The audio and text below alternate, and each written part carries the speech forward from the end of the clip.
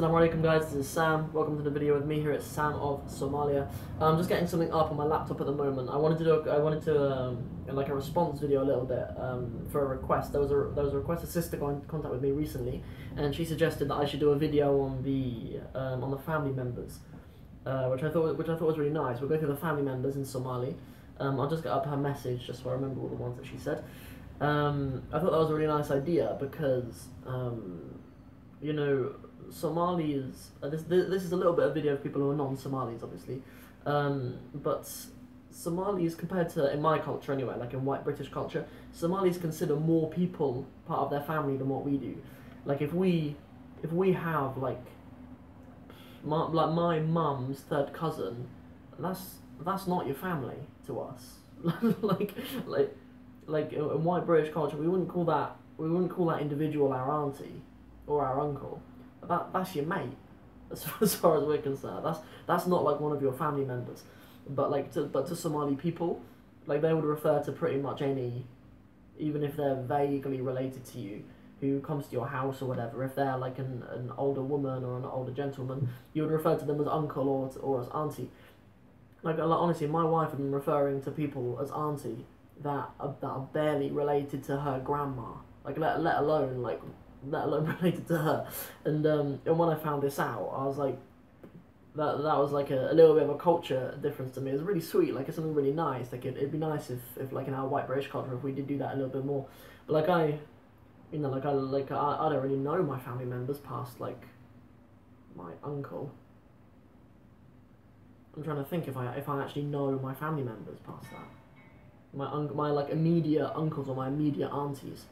Um, I remember once when I was little, when I was about eight, I met my cousin's cousin. And that was. I don't bother seeing her again. Like, that's far enough away for, like, you know, for a lot of people from, like, a white British culture. But, um, but yeah, as I say, that's that's not the case for um for Somalis. So there are there are different words for sort of auntie and uncle, and we'll go through them all. They're all obviously in the list that we'll go through. But um, yeah, that was what most of this video is going to be about. About how sort of um, you, you know, like it's, it's good, like especially if you're marrying into a Somali family as well. It's, it's good to be aware of the fact that more people are considered part of your family. You might see someone sporadically, and they might still be referred to as uncle or as auntie. Um, so, so that's so that's something for you to bear in mind, and also vice versa. If you're marrying someone from a white British culture, then bear in mind that that they probably have far fewer aunties than you. They probably have far fewer uncles than you. They maybe have. I think I have um, I have two uncles, three uncles. I have three uncles altogether, and three aunties in the world.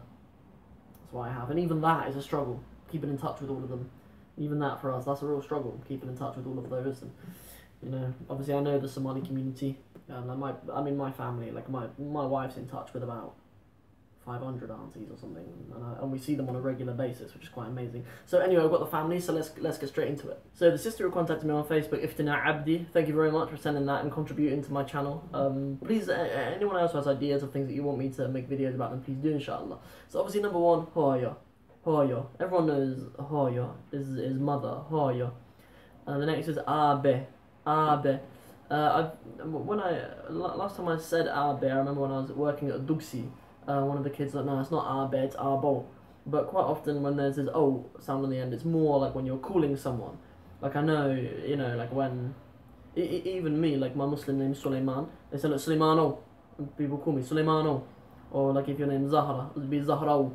It's Zahrao. Uh, so there's quite often that O on the end. But um, you know, that, that, that might be the reason why Abe sometimes becomes Abo. Anyway, so um, okay ways of saying your brother or your sister, um, you can say um, wala is the one that I know, and the one I, I have to look back because the other one I, I, I've only heard my mother-in-law say abayo, abayo, and wala shay. I like saying sister to someone. Uh, uh, uh, both of them can mean your real sister, but are also referred to as the same way that generally Muslims, when refer to each other, we call each other brother or sister. Um, uh, so that's abayo or wala shay. And then for brother, uh, one, one of my very first videos, a sister commented, um, she said, like, oh, well done, Abuwe.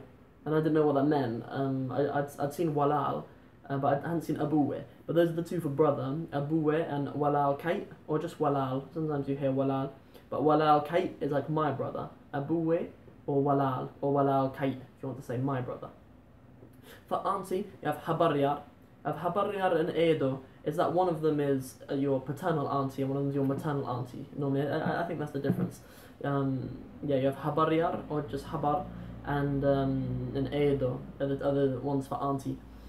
Uh, and then for uncle, you have Abti. You have Abti. I think that's your maternal. Your um, no, your paternal. Sorry. Abti is, is one on your mother's side. Your maternal. Yeah. Uh, Abti is your is your maternal uncle. Abti, and then Adeer is your paternal uncle. Adeer. Adeer. So you have Adeer and Abti. And then there's another word for for uh, like a, a woman who's a bit higher than her. Your like grandmother is Ayeeyo or Awoowe. Awoowe and Ayeeyo. Awoowe, Ayeeyo. I hope you enjoyed learning about the different names of the family members in Somali, and I hope you enjoyed this video, and if you did, please like and share it, and don't forget to subscribe to my channel. Assalamu alaikum wa rahmatullahi wa barakatuh.